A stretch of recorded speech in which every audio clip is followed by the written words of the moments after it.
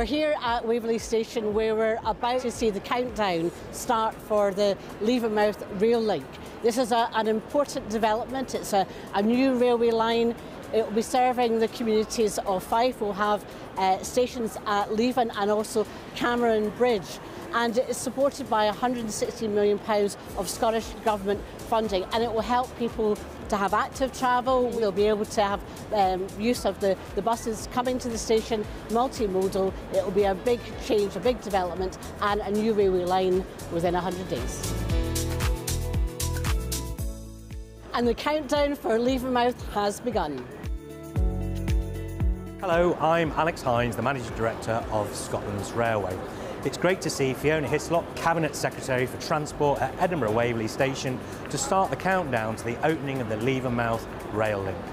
We are now 100 days from the communities of Cameron Bridge and Leven being reconnected to Scotland's Railway after 55 years. Levenmouth is currently the largest urban area in Scotland unserved by rail and I'm really looking forward to seeing our trains bringing rail travel back to the communities that make up the wider Levenmouth area. The new railway will improve connectivity and provide those communities with real choices and opportunities, unlocking access to education, culture, entertainment and employment, whilst creating opportunities for inward investment. This £116 million project is part of the ongoing investment by the Scottish Government designed to decarbonise Scotland's railway, providing the opportunity for people and freight to switch from road to rail.